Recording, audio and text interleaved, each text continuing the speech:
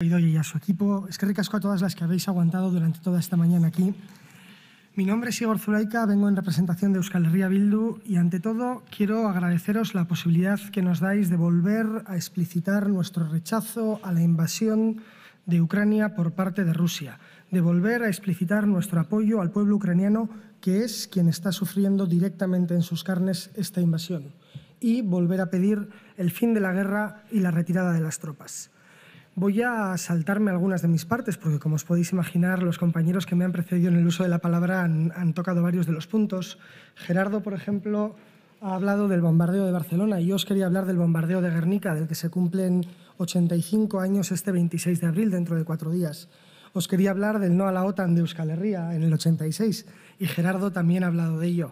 Pero hay algo de lo que sí que os querría hablar y en lo que me gustaría extenderme un minuto y es en nuestra experiencia, en nuestra experiencia en resolución de conflictos. Por suerte o por desgracia, nosotros tenemos una experiencia dilatada. Hemos citado ejemplos como el colombiano, el salvadoreño, el ejemplo islandés. Son muchos los ejemplos en los que la comunidad internacional ha jugado un papel, algunos de ellos positivos, otros no tanto, y consideramos que es importante que la izquierda y el mundo progresista en Europa se organice para apoyar que la comunidad internacional intervenga de manera activa en la solución al conflicto que se vive hoy en día en Ucrania.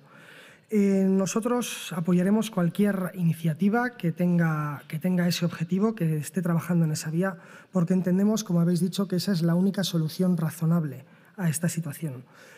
Eh, y para eso creemos que tenemos que trabajar juntos. Si me vais a permitir que parafrasee a un compañero uruguayo, un tupamaro, el Bebe Sendik, que decía que si nos ponemos a discutir sobre nuestras diferencias, nos podremos pasar toda la vida discutiendo. Pero si nos ponemos a trabajar sobre aquello que tenemos en común, seguro nos vamos a pasar toda la vida trabajando juntas. Por eso estamos trabajando en iniciativas. Algunos compañeros han dicho que estaría bien que de aquí pudiesen surgir nuevos pasos, que se pudiese crear una cierta internacional de los pueblos. Nosotros estamos dispuestos y esperamos poder trabajar con todos y todos los que estáis hoy aquí en ese sentido y poder hacer cosas antes de verano, después de verano, en otoño, para seguir dando pasos en este, en este camino porque la situación del pueblo de Ucrania lo necesita, porque los millones de desplazados que tenemos tanto en Estados europeos como desplazados internos dentro de la propia Ucrania lo van a necesitar y porque, por desgracia, esta es una situación que puede alargarse en el tiempo.